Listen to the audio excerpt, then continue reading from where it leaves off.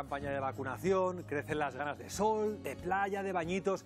Inés y yo no hablamos de otra cosa, pero claro, controlen esas ganas porque, Rosalía Gozalo, eh, tenemos eh, que tender a torrarnos al sol, tendemos a eso y claro, la quemadura es comprar papeletas para un melanoma, pero casi casi seguro.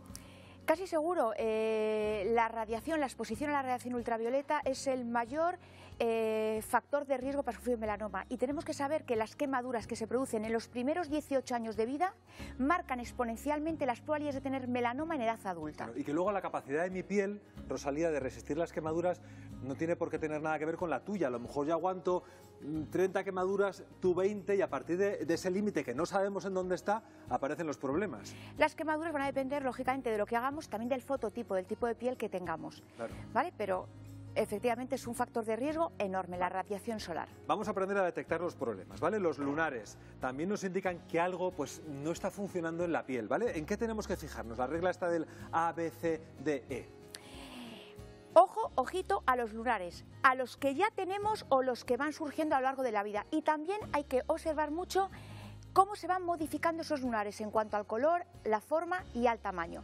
Yo voy a enseñar unos, trucos muy sencillos que es la regla ABCD que va... Vamos al turrón.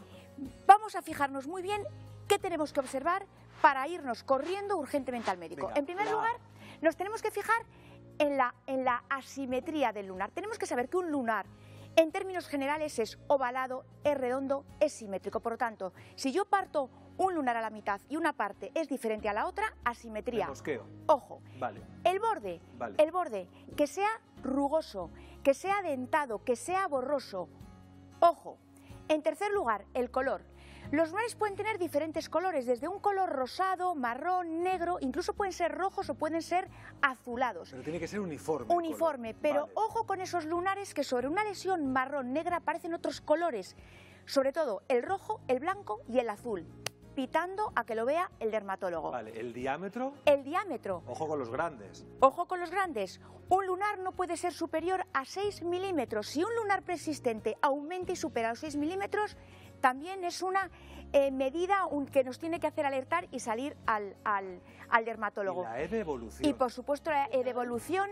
Me interesa mucho aprendiendo. Sí, estamos ¿eh? todos callados aquí escuchando. A ello recomiendo que cuando tenemos lunares sospechosos, por supuesto ir al dermatólogo, pero que hagamos fotos, hay que ver la evolución, hay que ir viendo cómo van evolucionando en cuanto a tamaño, color y forma. Tenerlos vigilados y en cuanto veamos en esa evolución cambios de color, cambios de borde, cambios de simetría, rápidamente al médico. Rápidamente al médico. Además es muy fácil, hay un aparatito y te van a decir pipi, pipi, nada, está bien, ningún problema. Es maravilloso ir al dermatólogo porque además es muy fácil, no nos tiene que dar pereza, no tenemos que hacer nada y ellos rápidamente lo van ¿Sabes además una cosa que, aprendí yo en el dermatólogo que es muy curioso? Uno se piensa que te quitan el lunar y ya está, pero claro, el lunar cuando crece, crece hacia los lados, pero también hacia el fondo y toca las, la vascularización de la piel. Entonces las células malignas se expanden muy rápido, por eso es muy importante que la gente en casa no baje la guardia. El lunar ponte más mirándote aquí, porque si no te estamos viendo todo el rato de perfil, Rosalía. Más hacia la cámara. El lunar es la punta del iceberg. Eso es. Y debajo de esa punta del iceberg puede haber un gran problema. Por eso es muy importante no solamente proteger el lunar, proteger toda la piel. Claro, ¿eh? evitar que crezca para que no llegue a la... Vamos con los factores de protección, porque eso sí que es un lío para mí absoluto. Yo soy de las que pienso que si me pongo 50 no me voy a poner morena y a mí me gusta estar morena.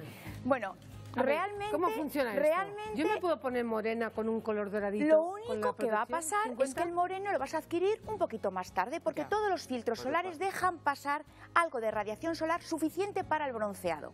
Pero sí que tenemos que entender qué significa 50-30. ¿eh? Eh, significa que si yo me pongo un factor de protección 50, mi protección frente a la quemadura es 50 veces mayor que un factor 30. Y esto tenemos... más despacito, pero no te quemas, que al final es lo que queremos evitar. No te quemas. Podemos exponernos 50 veces más al sol durante un tiempo mucho más prolongado sin quemarnos. Pero ojo, me encanta que hayáis puesto esto, porque hay mucha gente que viene a la farmacia y me dice, no, no, Rosalía, yo no uso fotoprotección porque yo no me expongo al sol. Yo siempre estoy debajo de la sombrilla. Tenemos que tener claro que un árbol, una sombra, una sombrilla nos van a proteger parcialmente de la radiación directa, pero no de la radiación que refleja sobre el suelo circundante. Imaginaros una pelota que rebota y nos va a dar con más o menor fuerza en la cara, dependiendo si esa radiación refleja en la arena, en el agua, en el césped. Y ya para terminar, las cantidades, que somos un poco tacaños, ¿eh? poniéndonos con lo generoso que somos para otras cosas, con la paella, con la sangría, con la crema somos tacañísimos. Bueno, pues también tengo que deciros que solamente el 5% de la población usa la cantidad suficiente. Si no utilizo cantidad suficiente, es como si no estuviera utilizando un factor de protección 50, pasa 15. la regla de las 9 cucharas. Esta es la cantidad que yo tengo que utilizar. Una cuchara para la cara. Vale. Una cuchara para cada brazo y la mano. Por favor, la cara, no olvidemos las orejas y el cuello. Vale. Una cuchara para el torso, una cuchara para la espalda, dos cucharas para cada pierna y pie. Y ojo los señores, por favor, si no tenemos pelo, necesitamos otra cuchara adicional. ¿Y cada, cuántas, cada cuánto rato tenemos que, Siempre cada dos horas. Y siempre cada dos horas. Esas horas se reducirán si soy muy friolero, salgo del agua y me pongo la toalla y fricciono. Si me encanta jugar en la playa y enterrarme en la arena, lógicamente también hay fricción. Y muy importante también, leamos si es resistente al agua. Este concepto es importante. Un fotoprotector resistente al agua significa que yo me puedo sumerger durante 40 minutos, que serían dos baños de, 20, minutos, estando protegida. waterproof, waterproof es 80 minutos. ¿Vale? Pero y una cosa muy importante, no guardéis las cremas solares de un año para otro porque me ha echado una bronca. Por favor, esto es importante, es importante, esto es importante. Fijaros en el envase que hay un, símbolo que se llama PAU, que es un bote medio abierto que viene 6M, 12M. El PAU significa la vida útil, la vida útil del fotoprotector. ¿Cuánto? Pues entre 6, 9, 12 meses. Lo pone en el envase. Y es la vida útil y superado esa vida útil, el fotoprotector ya no es, es útil para nada. Bueno, me tranquilizas, porque bueno, es el año.